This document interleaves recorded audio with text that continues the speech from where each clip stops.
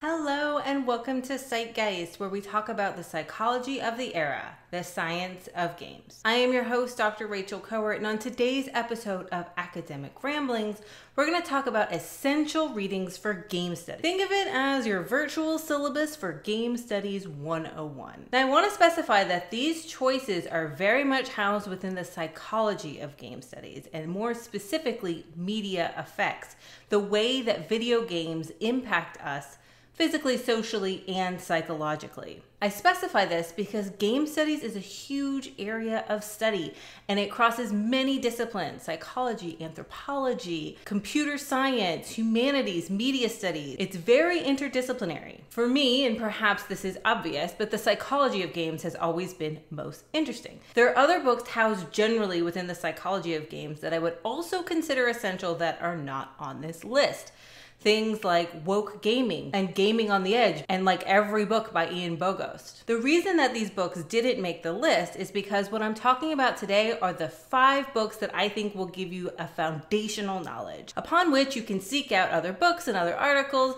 that go into your particular area of interest, whether it be video games and violence or games and learning. Okay, now that my disclaimers are over, here are my top five books that I consider essential for those wanting to study the psychology of games. All of these books are equally relevant and important for those who are new to the field or those who have been in it for more than a decade, like myself. There's always something to learn. First up, we have Getting Gamers by Jamie Madigan. Getting Gamers, the psychology of games and the impact on the people who play them is from Jamie Madigan and was published in 2015. Dr. Madigan is an organizational psychologist, which I think gives his work a particularly interesting viewpoint. As a side note, he also hosts a fantastic podcast called The Psychology of Games, which I highly recommend. This book isn't so much focused on media effects, but more gaming and gaming communities. There's a lot of emphasis on motivation the motivation to play, the motivation to grind, why we all want those achievement badges, the motivation to be part of a gaming community, and why we spend money on loot boxes and in app purchases. This is the organizational psychology at play. Jamie's writing is also delightful. He is a wonderful storyteller, and I genuinely love everything he writes. It's easy to read, and it doesn't read like a dense academic book, but rather like you're sitting in Jamie's living room and he's just having a chat with you.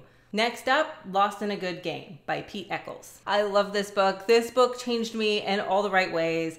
Lost in a Good Game, Why We Play Video Games and What They Do to Us was published by Pete Etchells in 2019. This book is half autobiography, half psychology and games. The book touches a lot on the history and development of video games, which is truly fascinating, and some media effects, but at the heart of it, it's really about our relationships with games. Why we love them, why sometimes we hate them, and why for a whole lot of us, they're part of who we are. It does read more like a memoir than a science book and a lot of it circles around grief, so be prepared for that. But it's beautiful and poignant, and my words do not do it justice. It is a must read. Next, The Psychology of Video Games by Celia Hodent. The Psychology of Video Games is a brand new book. It came out in 2020 from Celia Hodent and is part of the Psychology of Everything series from Routledge. This book is a fantastic short overview of, well, the psychology of video games. What I really love about it and why it makes such an important addition to this list is it's the first book I'm talking about that talks about game design. talks about the structure of game design, it talks a lot about user research and how that plays into the psychology of play and why after decades of playing games, we still enjoy them. Dr. Hodent does a great job from the very beginning explaining basic psychology terms like working memory and motivation. And honestly, reading it was kind of like a warm hug from the supervisor I wish I always had. It's thoughtful and well written and easy to follow. And like I said, it's a really great to have in that 101 toolkit, especially for concepts related to game design. Next up, The Video Game Debate, edited by Dr. Rachel Kowert and Dr. Torsten Quandt. To be honest, I did not want to include any of my books on this list, but there really is not an equivalent volume. This book was brainstormed at an academic retreat back in 2014. And yes, academic retreats are things that sometimes people do, although I think maybe only European universities do it.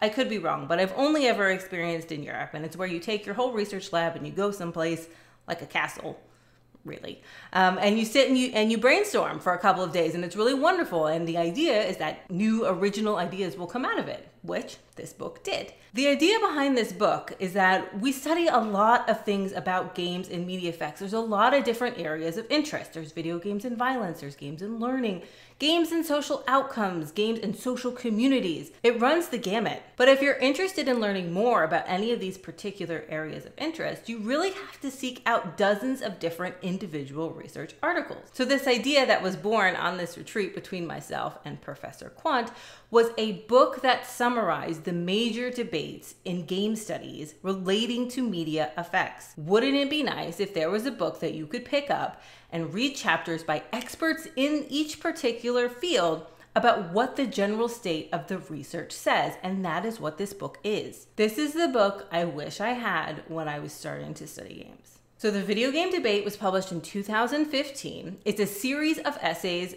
written by experts in each particular field. It covers all the major topics in game studies. Following up from this, the Video Game Debate 2 was released at the end of 2020. This isn't so much an update of the original book, although the beginning of the book does update and talk about different changes that we've seen in things related to like video game addiction, for instance. But it tackles new debates that have emerged over the last five years. Talks about loot boxes and serious games and games in therapy. So these two books, highly recommend. It's a great overview if you just want to know what does the state of the research say about how games are related to violence or how games are related to social outcomes. Last but not least, Discovering Statistics by Andy Field. Discovering Statistics? Yes, discovering statistics. Now, hear me out. If you want to be able to sift through the good from the bad, from the oh my god, how did that get published, you need to have a basic understanding of statistics. Even if you come from a field where statistics is not heavily focused on. Andy Field is a wonderfully funny writer that makes statistics accessible and relatable. I've been working with data for many years now, and I still go back and reference this book. Now, there's probably a new version out by now. This is the actual book I used during my PhD, but either way, there's quality information here. And if you're someone who's teaching statistics and you aren't using an Andy Field book, you are doing your students a disservice. Okay, I have to throw in a bonus one. I know I said five, but for all my clinicians out there, I have to mention a couple books published by Dr. Anthony Bean. He's a leading author when it comes to talking about games in therapy and cultural competency around games for clinicians. There are two books worth mentioning here Working with Games and Gamers in Therapy which is a book specifically designed for clinicians to help them understand the role games play as a cultural competency in the 21st century.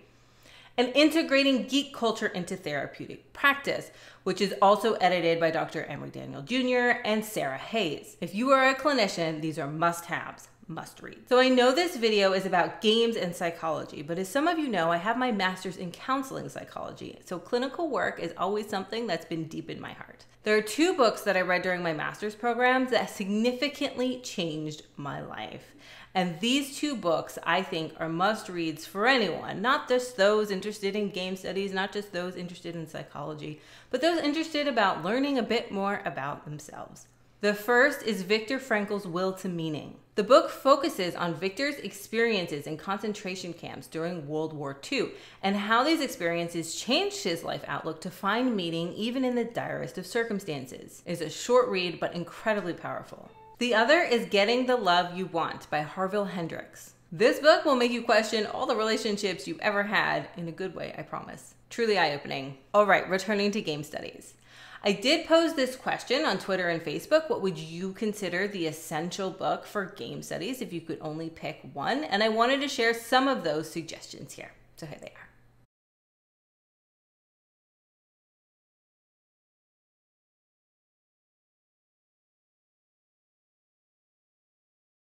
All right, that's enough books to add to your wish list for now. Do you have an essential book you'd like to recommend that wasn't mentioned here? Please post below. If you like this video and want to see more, please like and subscribe. And until next time, be excellent to each other and always cite your sources.